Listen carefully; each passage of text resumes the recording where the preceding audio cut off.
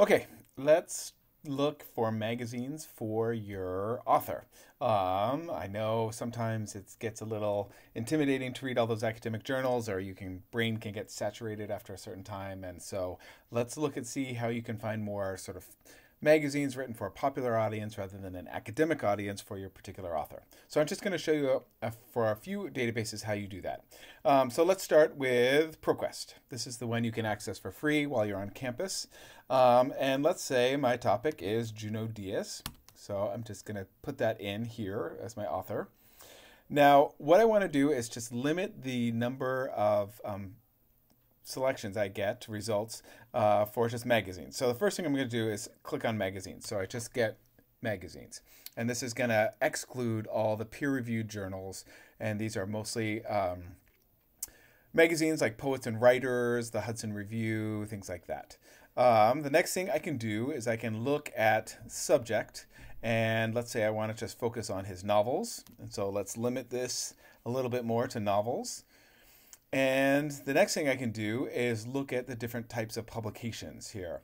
And so these are the publications that are all really good uh, magazines that will give you in depth stories about your author, but not written in the same kind of academic language as peer reviewed journals are.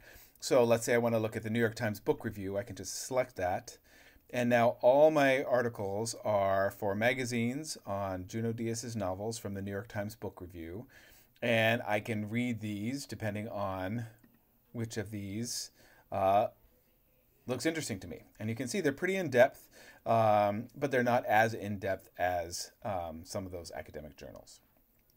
Okay, so that is ProQuest. Student Resources in Context also has a similar feature where you can limit it just to uh, the magazines.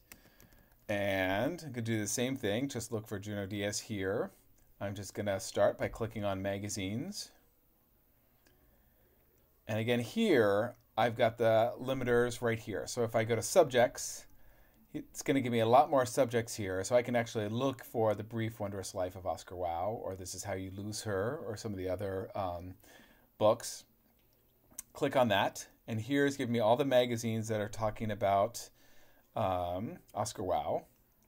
And again, if I want to look for a particular title, I can click here and look at these. And again, these are all good publications like Publishers Weekly, uh, the New Statesman, Newsweek, Spectator, and see what articles I can find through those. And here's the Publisher Weekly review of it, which can give me some ideas of kind of what to what to cite. Okay, lastly, we have EBSCO. And EBSCO, you know, you have to sign in with your Mountain View Public Library card number. I'm just going to select these first two databases here. Do the same thing.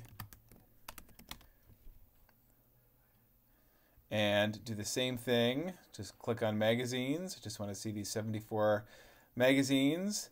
And then again, I can look under subject for just Oscar Wao. And I can also look under publication and look for the one that has the most sort of reputable publication. In this case, I might not pick Entertainment Weekly, but I might pick Writer Magazine. Um, let's see what's there. And then look at this. And this is an interview with him, which may give me some good information uh, coming from him about the, the book. So these are a little bit more accessible titles. Um, they're all available on the databases, and so take a look at them when your brain gets saturated from the academic journals.